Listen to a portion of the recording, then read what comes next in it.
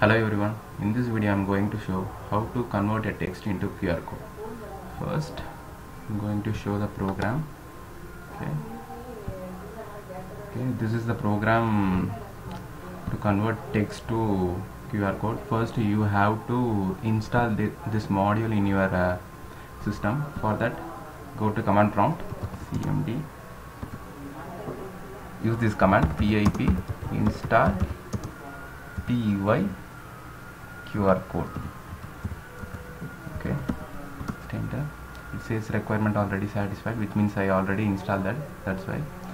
Okay, after installing that module, this line will convert the text into QR code. Then I am saving that in PNG format. Okay, if you are increasing the scale, it will increase the size of the QR code. Okay, now I am going to run this program.